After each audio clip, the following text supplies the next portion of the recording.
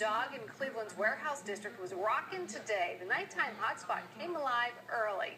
But to get in, you had to bring a child. RocknTot is designed for babies, kids, and parents. A family fun day that is the brainchild of two friends. Naomi Hattaway is one of them. And a RocknTot afternoon is jam packed with lots of things to keep the little ones amused. And mom and dad relax.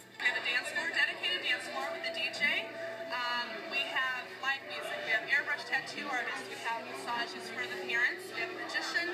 We have storytellers. We have a baker that comes in and does uh, cookie decorating with the kids. By the looks of things, the kids are having a good time dancing, eating, playing, and it's for kids of all ages. Definitely something different for the kids, something rather than ordinary. Look at these little ones. There is a special room just for them.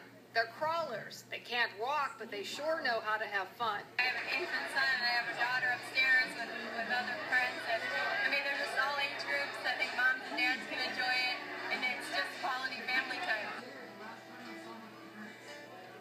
A day out of the house was music to the ears of parents and kids looking for a good time, and apparently they found it. I'm trying to talk my husband into getting a massage, and uh, yeah, we've had a great time so far. There's a little bit of something for everyone. Now, the next RocknTot party for families is set for May 10th. Well, after months, we